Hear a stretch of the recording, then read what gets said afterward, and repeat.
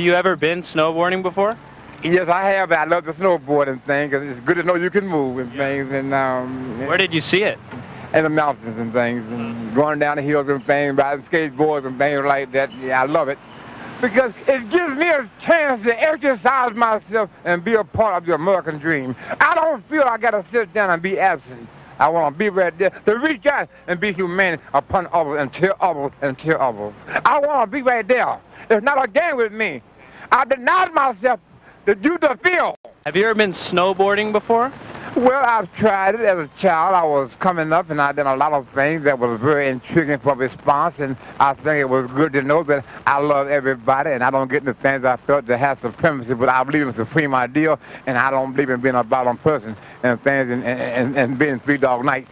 But uh, I love the skateboarding thing. It interests me and ideas and things. I like dreaming. I love to sleep a lot and things and, and just tell the sweetest stories. And I tell my girl, your eyes are the sweetest eyes I ever did see. I don't play and, and things. And I love weather. I love to get here. I love to shower. And I love to wash up. I love all my money. I ain't mad. I got Rob and say, he gonna sing song. I said, Rob, I said, don't you sing song. I would never hurt you.